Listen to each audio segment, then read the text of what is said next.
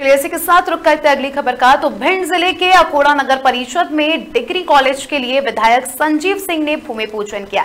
ग्रामीणों की मांग को ध्यान में रखते हुए भाजपा विधायक संजीव सिंह के प्रयासों से चार दशमलव तीन चार करोड़ रुपए की राशि डिग्री कॉलेज के लिए मंजूर की गई है। इस दौरान विधायक संजीव सिंह ने कहा कि वो लगातार अपने विधानसभा क्षेत्र में शिक्षा, स्वास्थ्य सड़क, पानी, बिजली जैसी मूलभूत सुविधाओं के लिए लगातार प्रयास कर रहे हैं।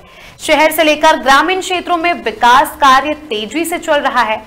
अकोड़ा डिग्री कॉलेज के भूमि पूजन के अवसर पर नगर परिषद सीएमओ प्रदीप ताम्रकार, जनपद अध्यक्ष सरोज बघेल, सुनील बाल्मिक सहित कई भाजपा कार्यकर्ता एवं ग्रामीण जन मौजूद रहे।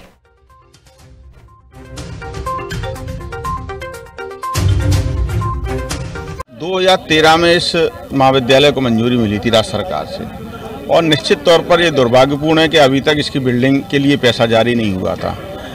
जब मैं विधायक बना, यहाँ के प्रिंसिपल तोमर साहब मुझसे मिले, उन्होंने ये बात बताई कि बिल्डिंग नहीं है और छात्र संख्या भी ठीक ठाक है। अभी बता रहे, साढ़े चार सौ के आसपास छात्र संख्या है।